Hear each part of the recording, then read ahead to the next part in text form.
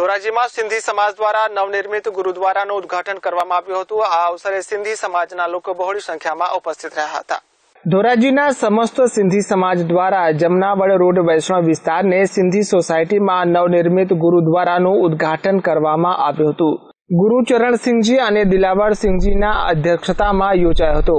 સવારે નવ વાગે ગુરુદ્વારાનો દૂધથી અભિષેક બાદ સાંજે ચાર વાગે નૂતન ગુરુદ્વારા ખાતે બહોળી સંખ્યામાં તમામ સિંધી સમાજ દ્વારા શોભાયાત્રા કાઢવામાં આવી હતી અને ગુરુ ગ્રંથનું પૂજન અર્ચન